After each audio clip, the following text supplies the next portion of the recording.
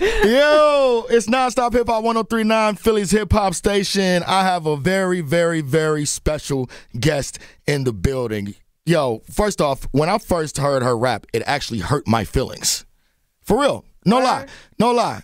Rapsody, what's good? What's up? Why I hurt your feelings? Because man, on that song, uh, so I first heard from you, or, or heard about you from Anderson .Paak song "Without Oh, You." Without You, yeah. And then you, when you when you said that line, you played yourself for a photo that you ain't know. Though I was like, oh, I gotta stop scrolling on Instagram. I gotta get off. Like for real, like I feel like Right like your your presence in your music is that mirror that we all as a culture have to look at and look ourselves in the in the, in the face. I think that you speak for the conscience of black people in a lot of different cases, man. Man, I just I just talk factuals. That's all. Yeah. You know, I see life and whatever I'm thinking, I just say it. You know what I mean? That's that's all it is. It's like my music is the couch conversation at the Cosby at the Cosby's house. I like You know what I'm that. I like that. just- I give the couch conversations. Sometimes we laughing at each other. Sometimes we got to get deep on each other. You know, that's what that's what I, I think it is. Well, speaking of deep, man, the the album Eve, Mm-hmm. Lord, Lord, it was so powerful. You know, and my favorite joint on there is the joint with um GZA and D'Angelo. Ibtihaj, Say that three times. Ibtihaj, Ibtihaj, Ibtihaj. I'm probably not saying it right, but I'm close. Yo, you you know you want to know what's what's crazy? I watched the video and I really felt like I was like in North Philly or something like that because you know if you've been around the city here in Philadelphia, there's a huge Muslim presence, sisters in their hijabs and everything else. Like, can you speak to why you chose to do that video that way? Yeah, um, just naming the, the track after Ibtihaj Muhammad and she being a newer uh, uh, representation for us as a Muslim American fencer uh, who uh, won a medal in the Olympics. Um, I wanted to really showcase that in the video to speak to what she represents and to speak for our Muslim community because we always don't showcase them in a light that the world showcases them in a negative way. Uh, You know, we got to tell the truth. Like, nah, y'all not about to, you know, put a stigma on our people and label them just based on their religion and how they dress. Like, we going to tell the real story. We're going to tell it in the most fly, beautiful way that we can, like they are. So, you know, that's what it was about, you know, just making a space for our brothers and sisters, you know, that are Muslim, uh, you know, to feel like they were represented in a honest and truthful way.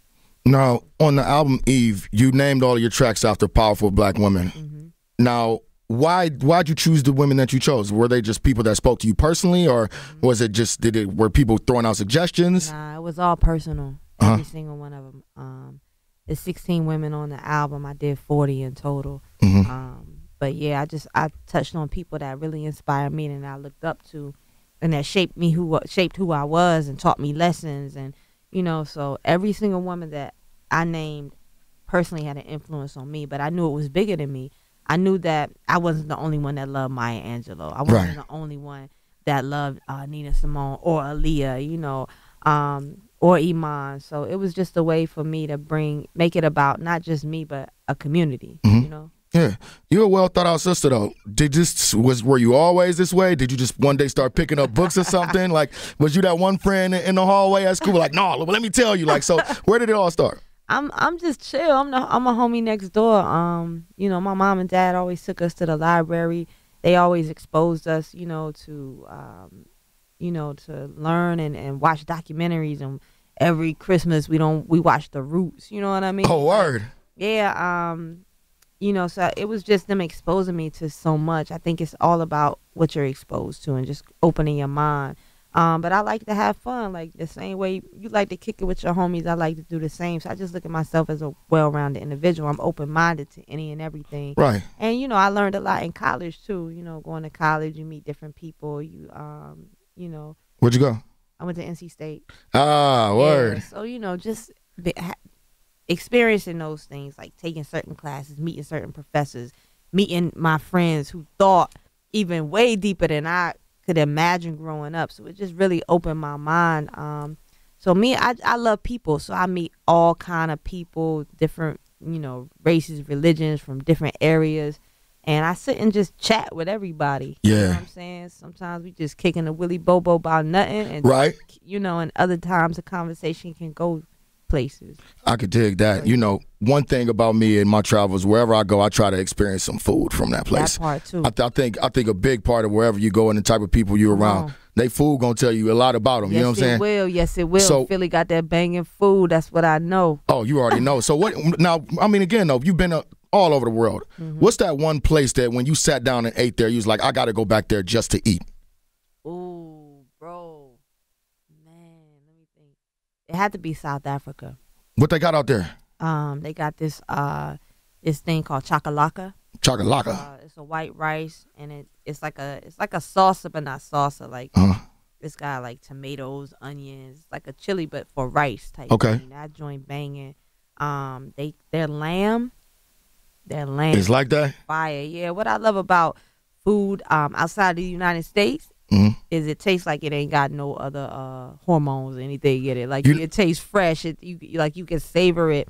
You can eat it. You don't feel like you about to go to sleep. So South Africa is one of my favorite places that I like to go have some food. I know that's right. You know, lamb and that chakalaka. chocolate. Yeah, Chocolate. straight like that. What, what, if there's any places in Philly, South African places, I'd like some chocolate. Go, For real? yeah, Chakalaka? yeah, for real. and lamb. So some lamb over rice wouldn't be, wouldn't be too bad right now. And you know another thing, um, it's and I kind of lost my train of thought on that one, but you know you're from North Carolina, right? Mm-hmm. And you, you went to school in North Carolina, so I know you know how you got to know how to throw down. oh, in the kitchen. Yeah, I'm alright. you all right? I mean, I used to love cooking growing up. Mm-hmm. My mom taught me how to cook everything. When I got into music, So when last what's the last meal you cooked for yourself? the last meal I cooked for myself, uh, I don't even remember, bro. Oh, oh, yeah, yeah, yeah. I made some, um, I made some uh pasta, chicken parmesan. That's what I made. Okay, Yeah, all right, you can do a little parmesan. something. That's like my favorite dish to make. Okay, yeah, Yeah. like my go-to dish is T-bone steak. I'm a big time foodie. Like, that, Oh, like I, we okay, could we okay. could spend hours talking about food alone. You know what I'm saying? Nah, I could kill some chicken parm now. a word, okay. Collards, I don't know. I don't know too much. You don't you don't really I ain't in. done that yet, like that. For real? Cabbage, yeah, but collard. Yeah, I mean, it, it all depends. It's really the biggest part about soaking them and cleaning them for real. You know what I'm yeah, saying? yeah, you And- got to clean them joints. Don't give me no gritty collars, bro. Yeah, yeah. That ain't really it. That ain't And the I way to go. I like mine chopped up. I don't like them big, oh, The leafy joints. and that be all watery. Like, Yeah. I don't know. I don't do that. And we all know collards is like so. You kind of like you. You almost like glory greens, huh? No, I don't eat. I don't eat collards out the can. Yeah, I never have either. Yeah, I don't. I mean, even from, though we don't really do that. I mean, yeah, I mean, you North Carolina. Come yeah, on now. Nah, I can't even. I don't know. I don't know about no glory greens. Y'all, it's Black History Month. How are you celebrating? Man, I celebrate every day.